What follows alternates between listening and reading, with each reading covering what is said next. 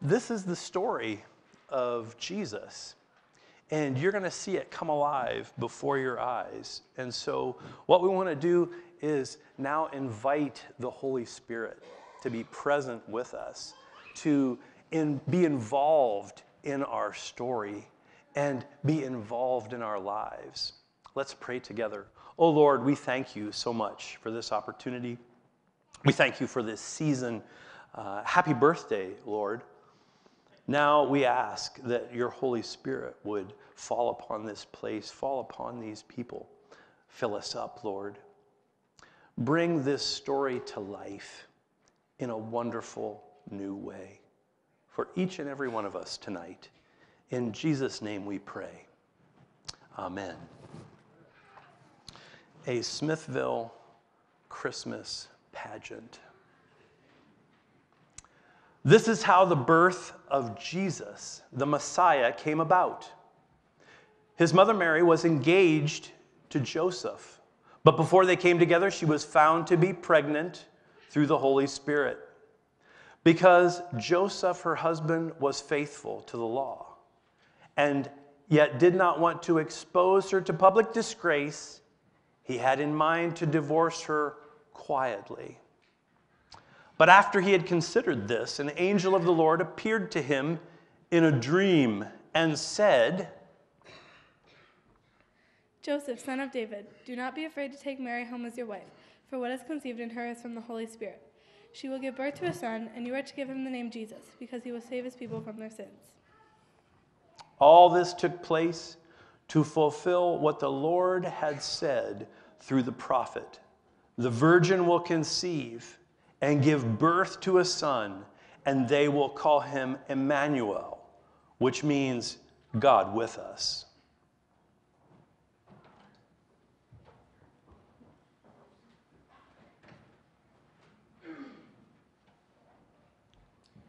I'll ask you to please stand and turn in your hymnals, the blue hymnal to 172. We will sing verses 1 and 6.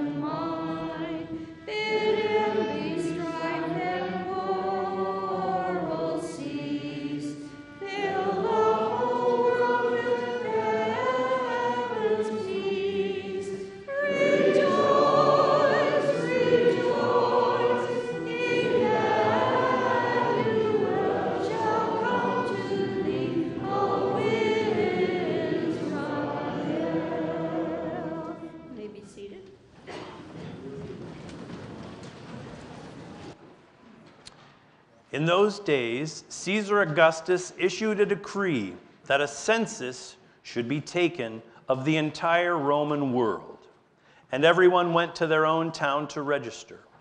So Joseph also went up from the town of Nazareth in Galilee to Judea, to Bethlehem, the town of David, because he belonged to the house and the line of David. He went there to register with Mary who was engaged to him and was expecting a child. While they were there, the time came for the baby to be born, and she gave birth to her firstborn, a son. She wrapped him in cloths and placed him in the manger because there was no guest room available for them.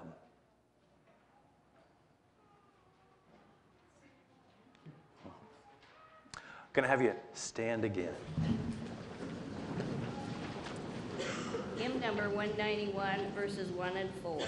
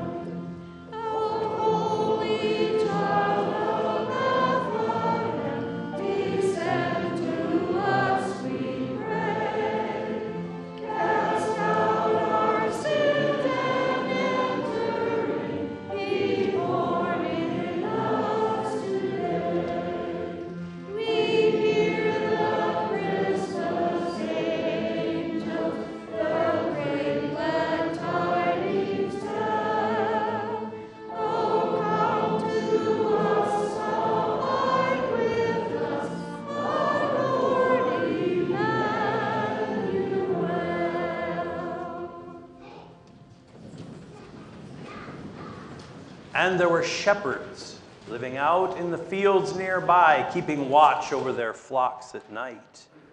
An angel of the Lord appeared to them, and the glory of the Lord shone around them, and they were terrified. But the angel said to them, Do not be afraid. I bring you good news that will cause great joy for all people. Today in the town of David, a Savior has been born to you. He is the Messiah, the Lord. And this will be a sign to you. You will find a baby wrapped in cloth and lying in a manger. Suddenly, a great company of the heavenly host appeared with the angel, praising God and saying, if you look in your program all together, Glory to God in the highest heaven, and on earth peace to those on whom his favor rests. And now rise again.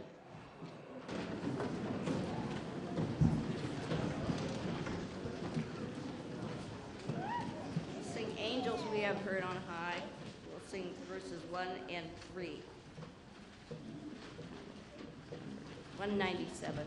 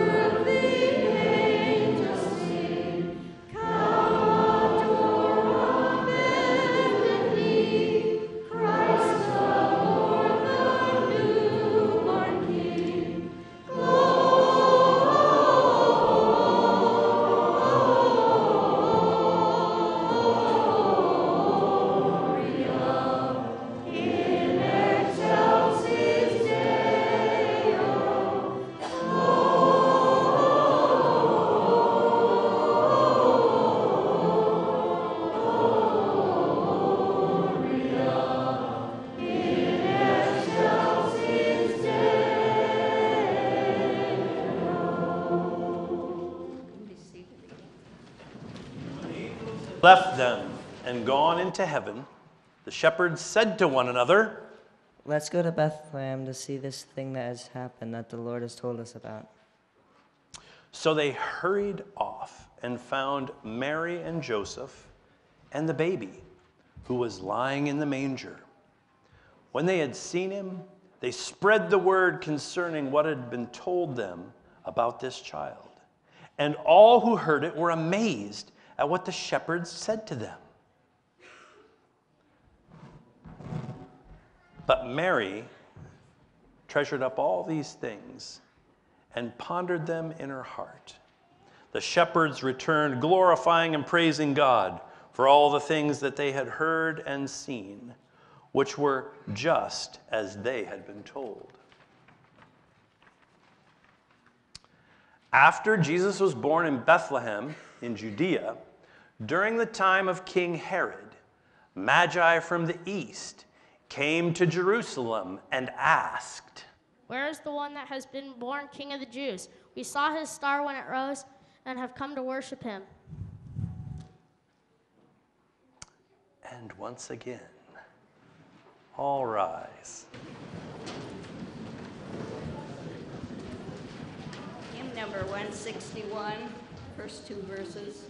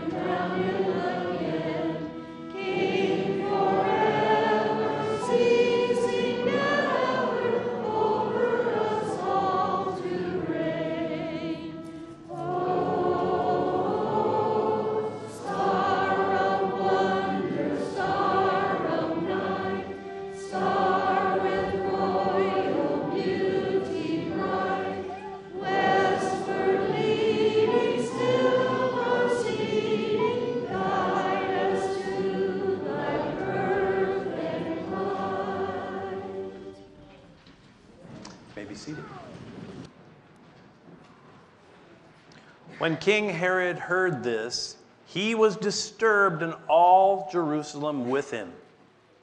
When he had called together all the people's chief priests and teachers of the law, he asked them where the Messiah was to be born. In Bethlehem in Judea, they replied, for this is what the prophet has written. But you, Bethlehem, in the land of Judah, are by no means least among the rulers of Judah. For out of you will come a ruler who will shepherd my people, Israel. Then Herod called the Magi secretly and found out from them the exact time the star had appeared. He sent them to Bethlehem and said, Go and search carefully for the child. As soon as you find him, report to me, so that I too may go and worship him. After they had heard the king, they went on their way, and the star they had seen when it rose went ahead of them until it stopped over the place where the child was. When they saw the star, they were overjoyed. On coming to the house, they saw the child with his mother Mary, and they bowed down and worshiped him. Then they opened their treasures and presented him with gifts of gold, frankincense, and myrrh. Then, having been warned in a dream not to go back to Herod, they returned to their country by another route. Amen. Well, thank you, children. And again, Bryce and Melanie. Thank you, Kelly and Barb. Now we're going to have a time of candle lighting. And just like the star that those wise men saw, you too will get to bear a little bit of light tonight. It's the light of Christ that each of you can shine.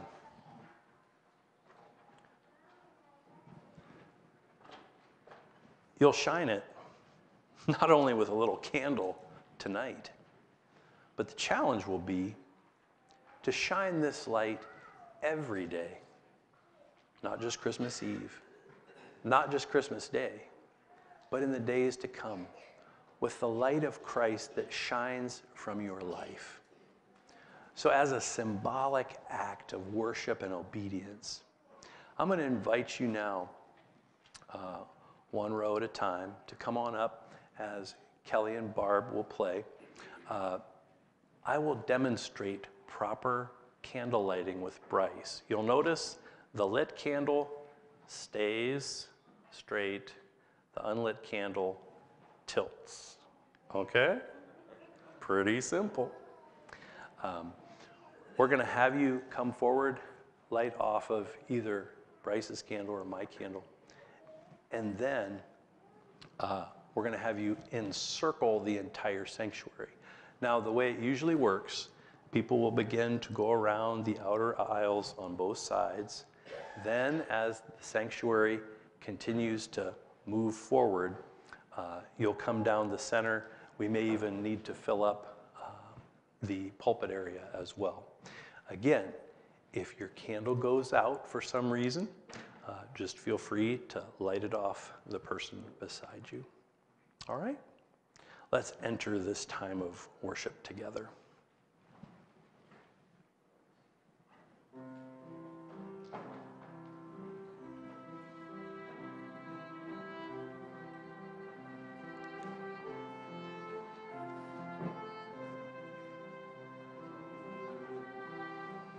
Hang with me. Excellent. Merry Christmas.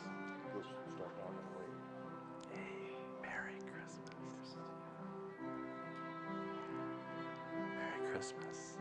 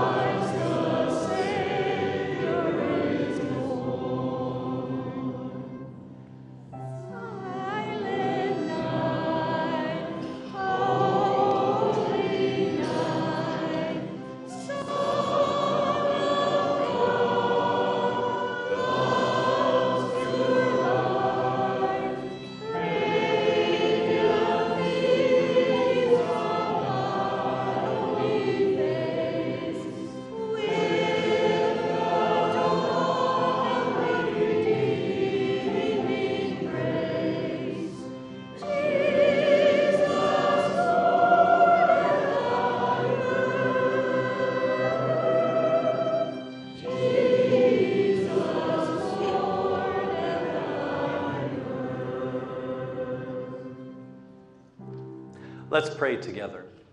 Oh Lord, we thank you that you came into this world to be the light. Thank you that you have passed the light on to us, and now you shine through us. On this dark night, Lord, I pray that you would bless us, that you would ignite us with your love and with your joy as we celebrate your birth tonight and tomorrow and for the rest of our lives. Thank you for the gift that you are to us, Lord Jesus. And it's in your name we pray. Amen. Well, thank you so much for coming out tonight. I would invite you to bask in the glow of your little light as long as you wish. And when you're done, please blow it out. And you may put the candle and the holder in the buckets in the, in the back, outside the, the back doors of the sanctuary. Again, thank you so much for coming tonight. God bless you and Merry Christmas. Amen.